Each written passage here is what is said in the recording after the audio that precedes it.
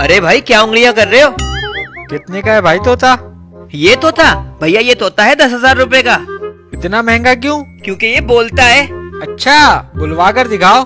अच्छा बेटा कुछ बोलो। उंगली महँगी पड़ेगी तुझे। अच्छा ये तोता कितने का है? ये भैया ये पच्चीस हज़ार का। इतना महँगा क्यों? भैया ये गाने गाता है। अच्छा कोई गाना सुनवाओ। अच्छा मिट्टू बेटे गाना सुनाओ। ओला como ताले ताले ऊ।